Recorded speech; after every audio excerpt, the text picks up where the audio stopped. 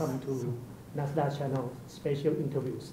So it's our great honor to have a Nobel laureate, Professor Yuan T. Lee, to, to join our uh, interviews today. So Professor Lee uh, got, is a, uh, got his uh, Nobel Prize in Chemistry in 1986 Yes. uh, for his contributions concerning the dynamics of chemical elementary processes. Yes. That's right? That's right. Okay. So we have some questions Mhm. that we, we hope that will, uh, your answer will inspire the young generation. Okay. The first, the first one we, we want to ask you, uh, what, what do you love the most about science and research? Well, Mhm. when you do scientific research, Yes? We only try to find something nobody know before. Mhm. And it is interesting. Yes, When you're young, you try to learn everything. that's right. But learning everything will not make science to progress Uh-huh. until one day Mhm. you find out somebody who has said before turned out to be wrong. Oh. And if you tell your teacher that you're wrong, I found a new, new way to explain things. Mhm. That's the moment science will make progress. Oh. So the thing which excites me most is to try to do something Mhm. people think it's impossible or find something nobody know before.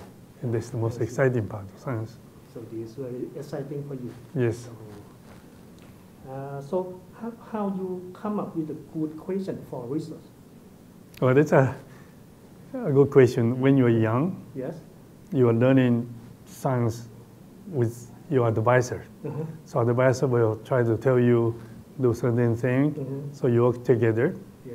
But gradually you move into a mode that the professor will not know Mhm. the answer. And so they will come and ask you, what's new? Mhm. What you have done? Yeah. What are you going to do next? Mhm. And in that process, you will find that they, ah, there are some questions really need to be answered. So when scientists develop, then you come up with idea. So many young people said, Professor Lee, I don't have any idea. How can I be a scientist? Mhm. I said, no, you should not have great idea Mhm. when you're so young. Mhm. But when you learn to answer some of the questions, then problem will come to you. And suddenly you find, ah, there's interesting, important thing you need to answer.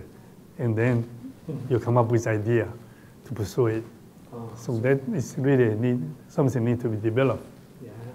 So you, you say normally we, we got some good question after Right. we do some research. That's right. practicing. You keep on asking questions, Yeah. asking very innocent questions. Mhm. Then gradually you will find important questions That's right. along the way. That's right. Okay. So what is your impact or contribution of your research to the world? Well, mm, very often Yeah. uh, people in the government will ask, what have you done?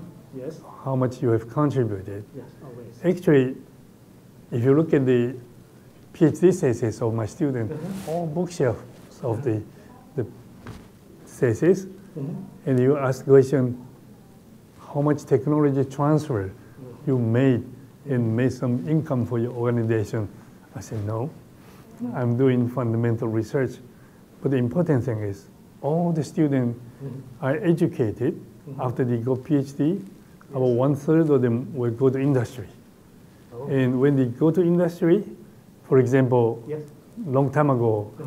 IBM is moving into copper surface, Mhm. copper, and they have some program of getting copper to stick on the surface. Yes. And one of my postdoctoral fellow went there, Mhm. and he eventually became a director of research at IBM. Wow. He solved the problems for them. So one thing is we educate people and bring the knowledge and bring the ability to answer questions to the industry. And that is the way we are contributing.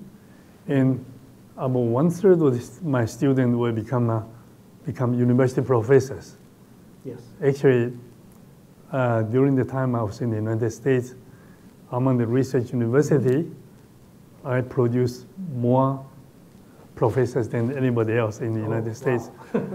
And so those students will bring the next generation student, Uh-huh. they carry out some research. Mhm. And so those are another pathways.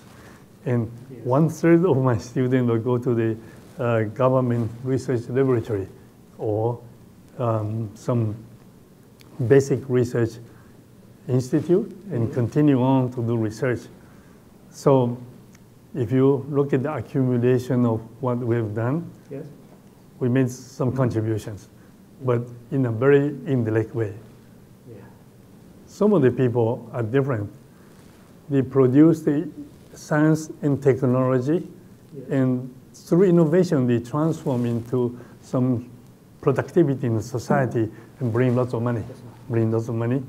But I think that cycle goes through science and development of science Mhm. and technology will take a long way, and sometimes somebody Mhm. will use that to transform into Mhm.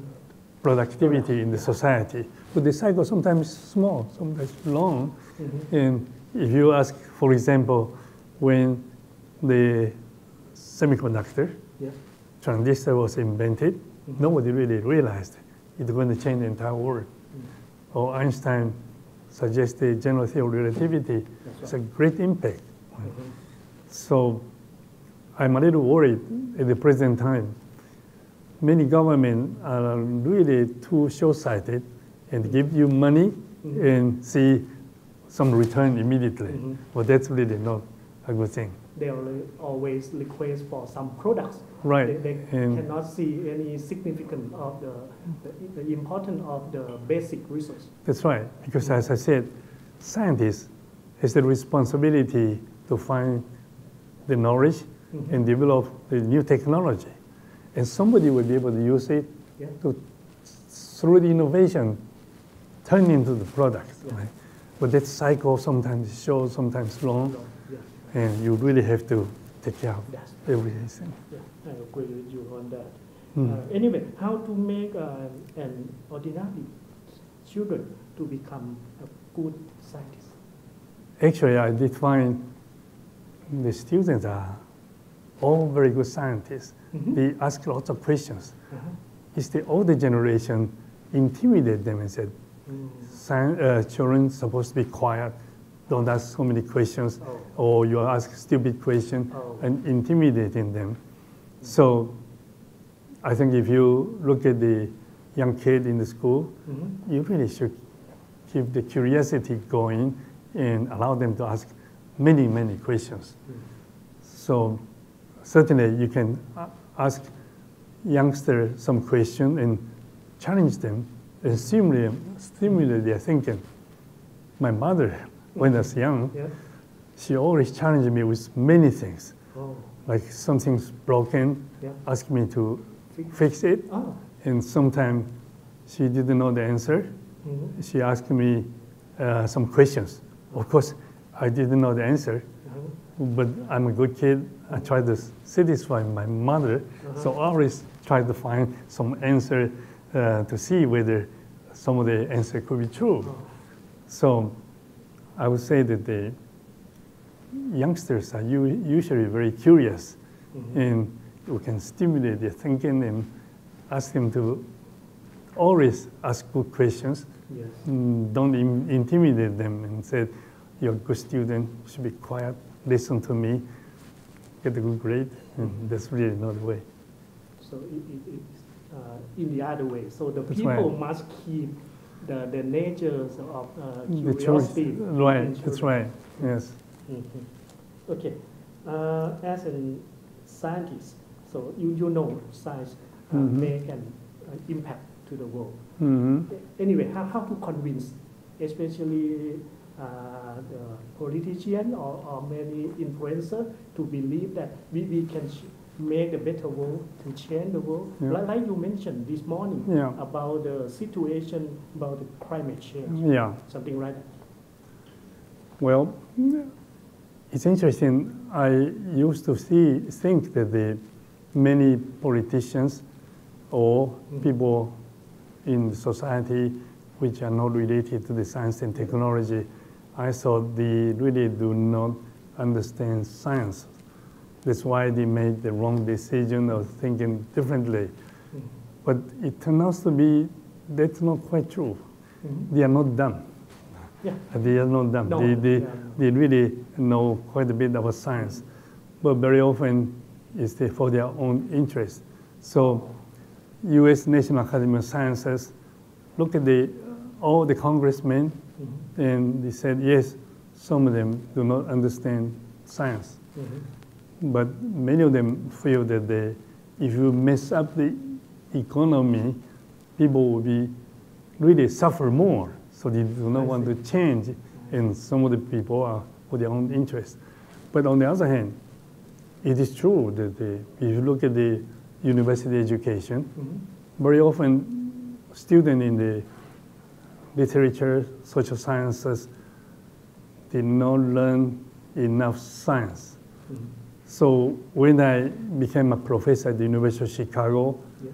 during the first year, Mhm. the second semester, Mhm. department chairman said, Professor Lee, you have to teach science for non-scientists. The second semester is about chemistry.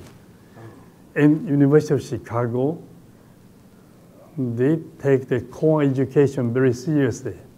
So I come to the classroom and start to teach. And those students used to read the book and write some impression and report.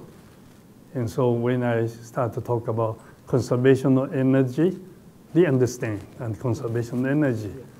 But when you go to the second law of thermodynamics about entropy, you raise their hand and say, Professor Lee, that doesn't make sense.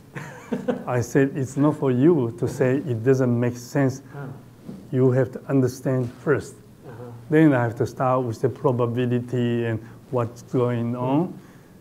It takes some effort to teach No, science to non-scientists, but it's possible. possible. We have a laboratory, and for example, when I was doing electrolysis of water, and students see hydrogen to oxygen is two to one.